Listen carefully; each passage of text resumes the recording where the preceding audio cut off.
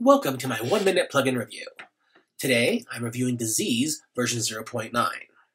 What this plugin does very well is add about a dozen diseases and health conditions, from broken legs to yellow fever to rabies, even choking, to your Minecraft environment.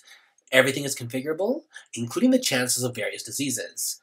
In this case, I was breaking a block barehanded, got a flesh wound, which normally isn't too serious, but mucking around with an open wound in swamp water is apparently not a good idea. You can see my disease meter on the right going up. Once my temperature or sickness level reaches 100, I'd be dead. Conveniently, I've set aside the cure for swamp fever right here. Now, as you're about to see in the moment, there is a delay in how your health status is updated due to how the plugin author is storing the data in a flat file per user. I would hope down the road they may upgrade this to support MySQL, but that's my only one small complaint about this plugin.